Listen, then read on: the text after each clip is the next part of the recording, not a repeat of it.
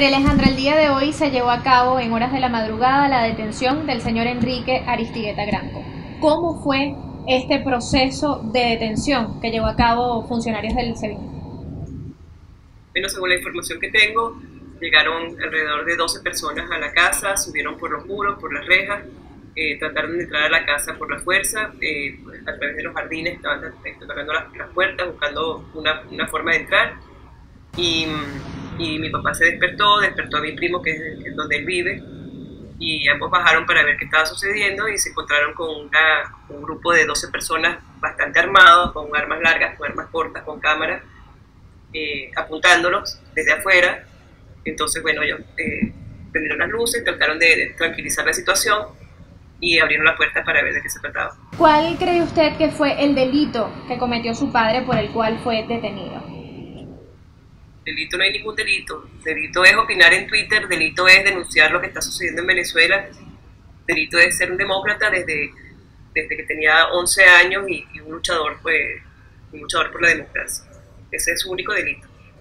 Él nunca estuvo preso en la dictadura de Pérez Jiménez, él estuvo en la clandestinidad, estuvo eh, luchando junto con eh, otras tres personas de, de otros partidos políticos en lo que se llamó la Junta Patriótica. En ese momento él no estuvo preso, él representó a muchos eh, dirigentes políticos que sí estaban presos, pero a él no lo, no lo llegaron a capturar, eh, como me decía él siempre, como siempre me ha dicho, porque tiene las piernas muy largas. Bueno, en esta oportunidad sus piernas largas no le funcionaron porque lo vinieron a buscar en la casa. Durante los últimos días, él temía que esto sucediera, le había conversado, había conversado de, esta, de una posible situación como esta con alguno de sus familiares. Él siempre ha estado... A, eh, siempre ha estado pensando que esto puede suceder. Él siempre ha asumido esto como uno de los riesgos a los que se iba a tener que enfrentar. Yo lo he tratado de disuadir muchas veces, yo trabajo en derechos humanos desde hace muchos años y lo he tratado de disuadir porque entiendo y conozco de la situación, sé lo que sucede con las personas cuando están eh, en las cárceles del SEBIN o en Ramo Verde y lo quise disuadir y él me dijo que ese era su compromiso con Venezuela. Eh, él no, en los últimos días no pudimos hablar, ni mi hermana, ni mi hermano, ni yo, ninguno hemos, habíamos podido comunicarnos con él. Y Sergio, mi primo con quien él vive, sí nos dijo que él ayer estaba preocupado. Yo creo que él sabía, tenía algo de información porque este, normalmente él era muy comunicativo. Bien, eh, ¿cuál es el mensaje que usted le quisiera hacer llegar al gobierno nacional tras la detención del señor Aristigueta? Mira, uno muy simple, no les da vergüenza, no les da pena meter preso a un anciano de 85 años. Eh, ¿Qué tanto miedo le puede causar o que les, puede, pueden tener ellos a una persona que lo único que está haciendo es hablar por Twitter, hablar en conferencias, decir lo que opina?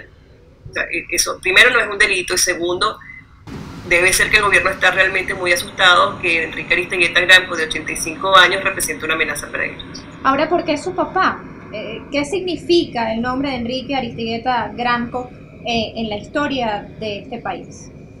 Bueno, es un referente, es un referente democrático, es un referente histórico, es eh, de las personas que nunca se han doblegado ante el régimen en ningún momento, han estado permanentemente, ha sido permanentemente crítico al gobierno y al, régimen de Maduro, no, no, ha, no, no, se ha doblegado, no, no ha dicho las cosas con dobleces ha dicho directamente y pues me imagino que eso es lo que le están cobrando.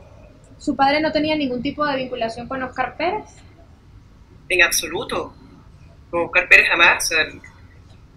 es que me, me, deja sorprendida con la pregunta. No, mi papá tiene vinculación política con Soy Venezuela, tiene vinculación política con Ghana y tiene vinculación política con los, viejos políticos de Acción Democrática, de COPE y de, todos los partidos políticos democráticos de Venezuela.